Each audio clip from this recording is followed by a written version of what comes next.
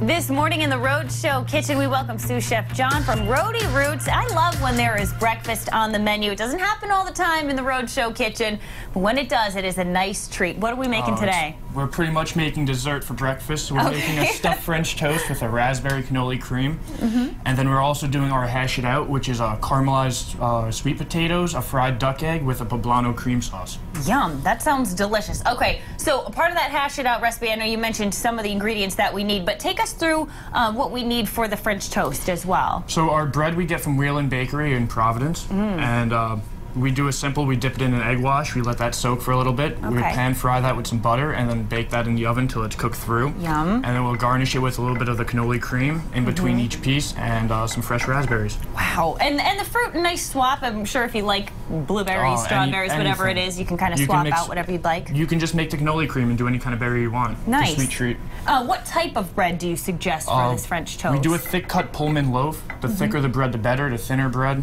eh.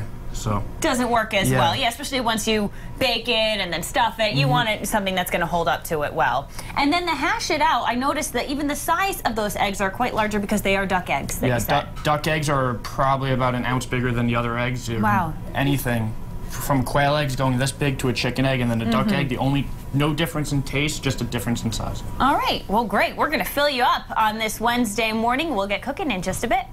For now, Michaela has made her way back into the kitchen. All right, thanks so much, Brendan. I'm here with sous chef John from Rhody Roots, and we've got breakfast on the menu. And starting off with some melted butter in the pan because we have to get our stuffed French toast underway. I love French toast. What a nice treat. So we're gonna start just by soaking the bread. We're gonna dip it in the egg wash. Mm-hmm. And you want to make sure it gets all the way through so it's nice and moist in the middle. Okay. And a nice hot pan. We're just gonna take it, let it sear and cook. Okay. And I noticed this isn't. You don't have to soak this overnight. It can be done It's right a- on the fly. It's all about just pressing, and you feel it with the bread. Mm-hmm. So Yeah, the bread becomes moist tip. and soft. You want to make sure it's soaking up enough of that. You let them in here. You start to hear that sizzle of the butter too. Yep. And then as it browns on the sides, we're gonna flip in a minute, and we're gonna put them in the oven, and we're gonna let them cook through till they're dense. And I noticed in your egg, did you season that up a little bit with So the the egg wash is pretty much just uh, eggs. We do a little bit of heavy cream, cinnamon, and sugar to make it a little sweet, and that gives it a taste and browns nice on both sides. Oh yeah, because then you're going to add some extra flavor. This is a stuffed French toast, so we're going to, um, Oh. It's gonna like you get said, we're going to flip soon it, then it's done. bake it, and then stuff it. Yep. Okay. And is this something that's always on the menu, or is this a special? Uh, we change. See, we change our menus with the season. So Mm-hmm. as this is a spring, this is with our spring menu. Great. So that's with the berries. That's like that. We're gonna Mm-hmm. put this in the oven now. Let that get color. All right. And what's the t- about? How long do you put it in the oven? Uh, about five minutes in the oven, probably. And this is until it gets golden brown like that. that's the finished result right there. Wow, doesn't that look delicious? So that's the that's the base. Then we'll stuff it with our filling, This which is the filling of what? right here. So this is um, a cannoli cream. We do a whipped cream and we fold it into a ricotta cheese with fresh raspberries smashed in. Oh yeah. So that's sweetened up.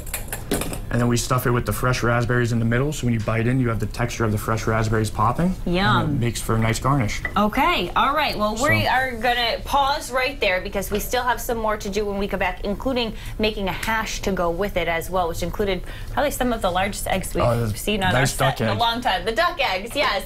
Uh, we'll get get that going in just a bit. Stick around.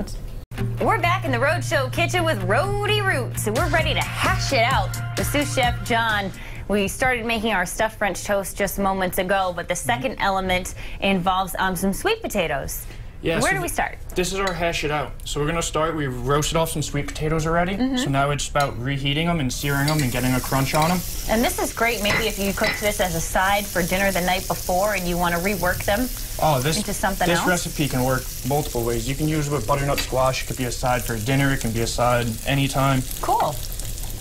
It's one of my new favorite sides. I think I love making. So Always get nice to hear and that. hot. Add some onions. Let that warm up in here. Mm-hmm. Onions look like you caramelized them a little bit before as well. Yep. We uh, so we caramelize them with a little bit of thyme, rosemary, garlic, Mm. and let that cook out till get golden brown. Nice flavor.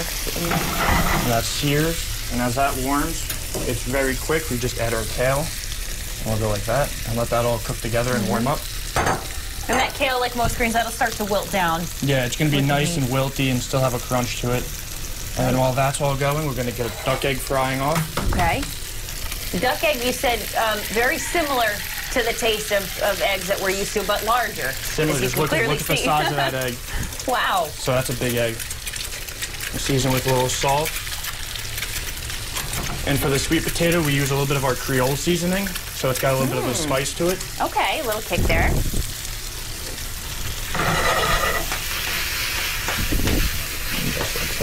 The toss. All this coming together. Yeah, Now, much- where are you guys located? Uh, we're located 511 Main Street, Warren. Mm-hmm. Right where, uh, right across the street from Town Hall.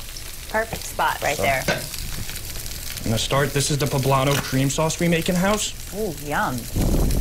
and it's all cashew based, so it is vegan. Well, that's good to know. Yeah, do you offer some other uh, menu items that are either gluten-free or...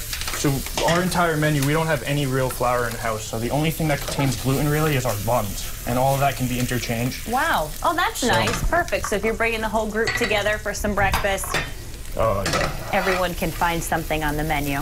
everybody. And we'll just plate like this. Mm-hmm. It over. I love a good breakfast. Oh, nothing says breakfast like cash. Mm-hmm. So we have our egg over here all fried up. Perfect. And we'll go about just laying it over the top. Wow, doesn't that look fantastic?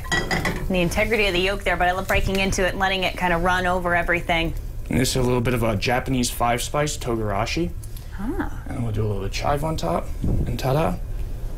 And great combination there, because I know you said the Creole seasoning went into the sweet potatoes too, and then that five spice to top And now our French off. toast is all ready. Yeah, that's right. We're kind of combining. We're doing two things today. I love a good sweet and a savory when it comes to breakfast. I've been known to order just a side pancake in addition to whatever meal I'm having because sometimes you want that little bite of sweetness. But French toast is another great option as well. Oh, this is fantastic. So we're gonna get the French toast out of the pan. So a reminder to folks at home, if they're just tuning in, we started by kind of searing that French toast in a pan. Then it went into the oven and it baked for a little bit. Yeah, we cook it so now it's got a nice dent. It's almost like a it's like a cake almost. You don't want it nice and soft and runny in the middle. But that's good. It's going to hold up to, to what you're stuffing it with. Yeah. And then we put the cream right in the middle. A cup of the fresh raspberries. Yeah. And did you have raspberries in the cream as well? Yes, we So smash we smash raspberries into the cream. Mm-hmm. And another piece right on top. Wow. Nice dollop again. Do you have, um, I guess, traditional French toast as well? Pancakes? What are some other Uh, we, breakfast we items? can off we can do French toast traditionally. We Mm-hmm. offer it this way. Um, well, why not? Yeah, I mean, go for an. Any way is possible. We can do it gluten free. We can can make it vegan, but this is just one of the few sweet desserts we have, and then a little Yeah. bit of cinnamon for garnish, powdered sugar. and then my favorite. Oh, yeah, load it up with that. Delicious. Make it look nice.